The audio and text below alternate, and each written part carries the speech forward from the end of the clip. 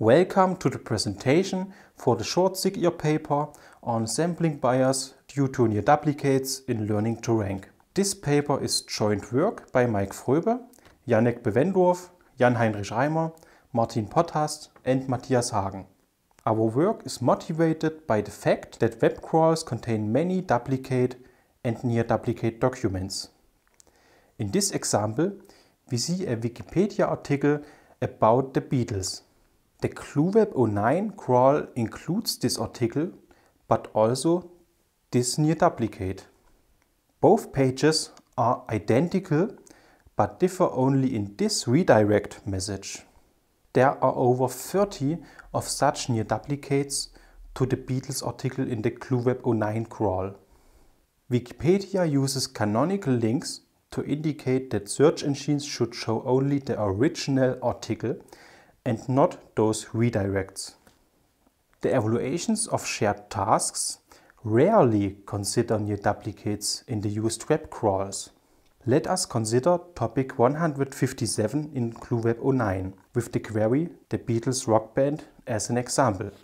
We find 58 documents judged as relevant for this query, but over the half of them are near duplicates to that Beatles article. That's an interesting observation for the training of learning to rank models, and we study this problem in our paper. Let me further highlight that the loss functions in learning to rank do not take near duplicate documents into account.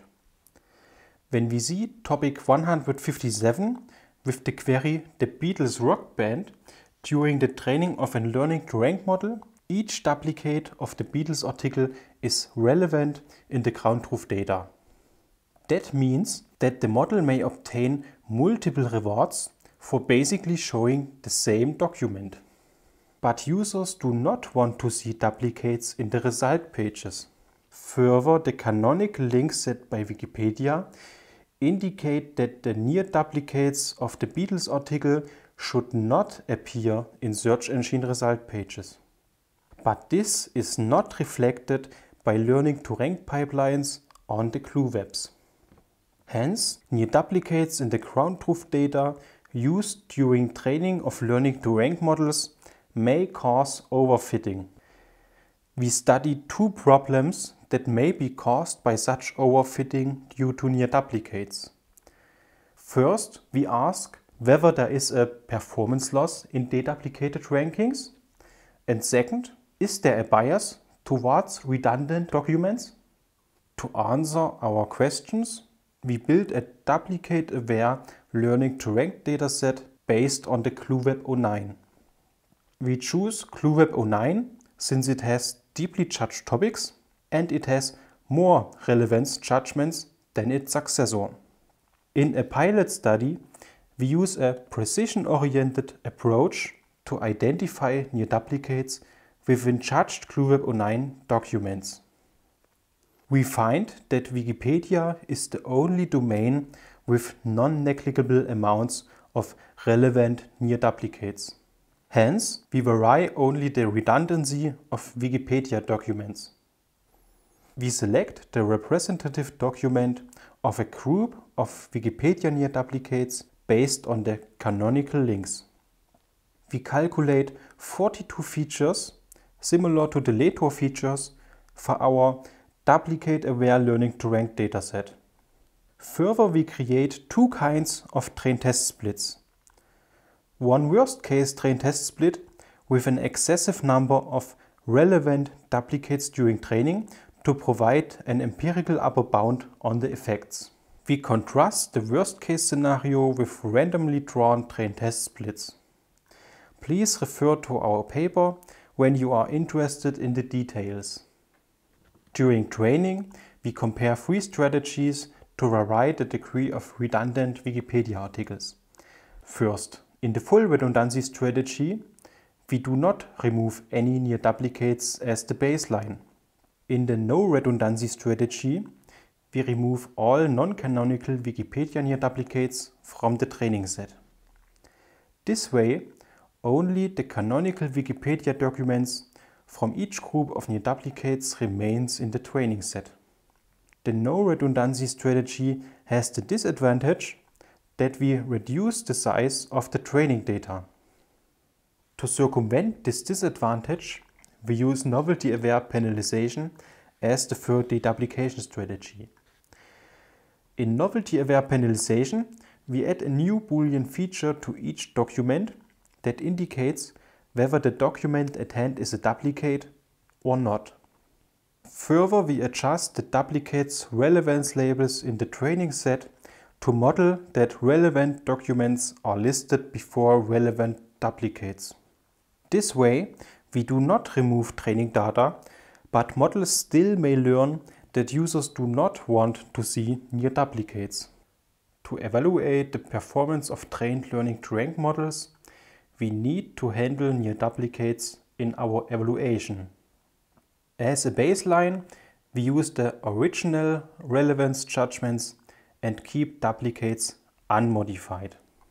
Under that evaluation, a ranking obtains a reward for showing relevant duplicates.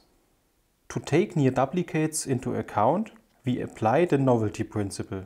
The novelty principle states that a document is irrelevant if it is a near duplicate to a document the user has already seen in the results. In this example, the second document becomes irrelevant under the novelty principle because a near duplicate is listed before. We conduct experiments on our duplicate-aware learning to rank dataset using our three deduplication strategies. We experiment with all learning to rank algorithms implemented in RankLib on our two train test splits.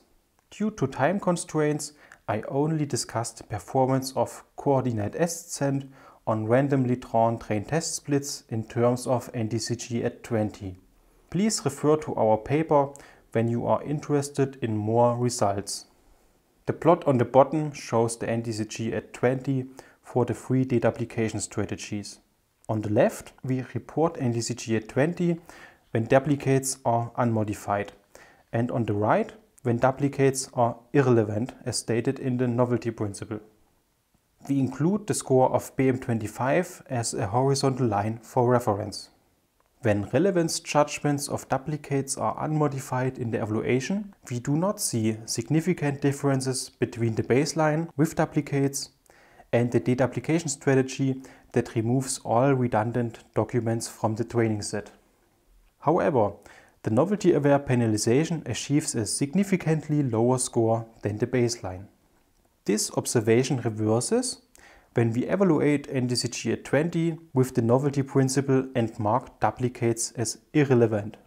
The baseline with duplicates during training achieves significantly lower scores than both deduplication strategies. Additional to experiments on the retrieval performance, we evaluated whether duplicates of Wikipedia documents in the training set can bias the trained models towards Wikipedia documents. Again, I only discuss coordinate ascent in the same experimental setting as on the last slide. The plot on the bottom shows the mean first rank of irrelevant Wikipedia documents for our three deduplication strategies and the BM25 baseline. The intention behind this plot is that models that rank irrelevant Wikipedia documents at high positions are biased towards those Wikipedia documents. That means that a higher score in this plot is better. The plot shows that all trained models show irrelevant Wikipedia documents at higher positions than the BM25 baseline. This is reasonable since Wikipedia has a higher probability of being relevant than other documents. Further, training without deduplication yields to the model that shows irrelevant Wikipedia documents at the highest positions.